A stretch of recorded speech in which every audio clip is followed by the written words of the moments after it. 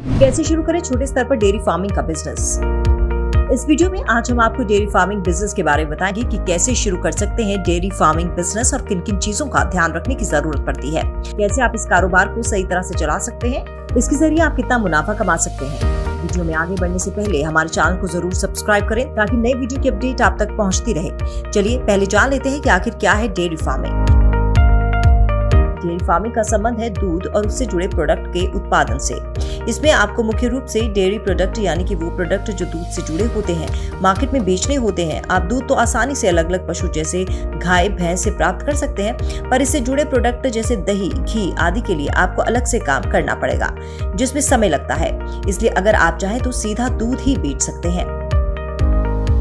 इस व्यापार को आप छोटे, मध्यम और बड़े पैमाने पर शुरू कर सकते हैं। अगर आपके पास ज़्यादा संख्या में भैंस या गाय खरीदने के लिए पैसे नहीं है तो आप केवल चार भैंसों को रख कर भी ये व्यापार खोल सकते हैं।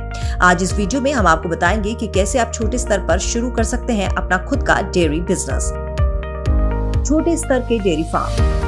छोटे स्तर पर इस व्यापार को शुरू करने के लिए आपको पाँच भैंस या गायों की ज़रूरत पड़ेगी। वहीं इन भैंस को लेते समय ये सुनिश्चित कर ले कि ये अच्छी नस्ल की हों और एक दिन में कम से कम 10 लीटर दूध तो अवश्य दे। कहा से खरीदे भैंस? भारत सरकार द्वारा डेयरी फार्म के कारोबार को बढ़ावा देने के लिए कई तरह की मदद की जा रही है। आप भैंस या गाय को सरकार द्वारा बनाए गए एक पोर्टल के ज़रिए खरीद सकते हैं। इस पोर्टल का लिंक इस प्रकार है। इस लिंक पर जाकर आपको कई नस्ल की भैंस या गायों की जानकारी मिल जाएगी। इतना ही नहीं, आप चाहें तो इन्हें इस पोर्टल के ज़रिए खरीद या बेच भी सकते हैं। आपकी सहूलियत के लिए इस लिंक को इस वीडियो के डिस्क्रिप्शन बॉक्स में दिया गया है। आप डिस्क्रिप्शन बॉक्स में जाकर जानकारी ले सकते हैं। छोटे स्तर की डेयरी फ़ार्मिंग शुरू करने की लागत।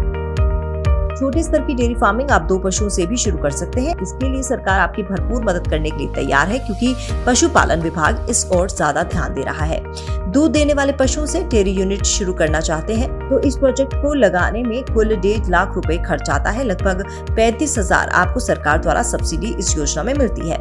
अगर अनुसूचित जाति या अनुसूचित जनजाति से आते हैं तो आप लगभग पैंतालीस हज़ार की सब्सिडी मिलती है। मुख्य चिकित्सा अधिकारी से संपर्क भी कर सकते हैं। क्या दो पशुओं से डेयरी खोली जा सकती है। सरकारी सब्सिडी योजना का लाभ उठाकर आप आप डेयरी घर में खोल सकते हैं। इसके लिए बहुत ज़्यादा बड़ी जगह की ज़रूरत नहीं है। टीन शेड डालकर भी पशुओं के रहने की व्यवस्था की जा सकती है। जब कुछ फ़ायदा होने लगे तो धीरे धीरे आप पशुओं की संख्या बढ़ा सकते हैं। डेयरी व्यवसाय से कुल मुनाफा। डेयरी फार्म में अगर आपके पास 10 पशु हैं और पशु हर दिन अगर 10 लीटर दूध देता है तो आपके पास 100 लीटर दूध हर दिन का हो रहा है। दूध की औसत कीमत चालीस रूपए प्रति लीटर होती है, जो गर्मियों में बढ़ जाती है। तो चालीस रूपए प्रति लीटर के हिसाब से आप हर दिन चार हज़ार कमा सकते हैं, जो कि एक अच्छा मुनाफा है। चार हज़ार में से अगर आपने अपने पशुओं पर तीन हज़ार खाने पीने पर खर्च कर दिया, तब भी आप हर दिन एक हज़ार कमा लेंगे, जो कि एक महीने का तीस हज़ार हो रहा है। इतने पैसे शुरुआत में बहुत होते हैं, और जैसे जैसे आप बिज़नेस के बारे में ज़्यादा समझते जाएँगे, आप ज़्यादा पैसा कमा सकते हैं। आप दूध का उत्पादन बढ़ा सकते हैं और इससे ज़्यादा पैसा कमा पाएँगे। खाने को क्या दें? जितना अच्छा और पौष्टिक खाना पशु को दिया जाएगा, उतना ही अच्छा दूध वो हमको दे पाएँगे। पशुओं को भूसा तो देना ही है और साथ ही साथ हरी घास भी देनी होगी। पानी अधिक मात्रा में देना ज़रूरी है क्योंकि अगर पशु पानी नहीं पिएगा तो वो अधिक मात्रा में दूध नहीं दे पाएगा। डेयरी फार्म के लिए गाय और भैंस खरीदते समय कुछ खास बातों का ध्यान रखें। डेयरी फार्म के लिए आप उन नस्ल की गाय का चुनाव करें, जो दूध ज़्यादा देती हैं और जैसे कि साहिवाल ये 15 से 18 लीटर दूध देती है।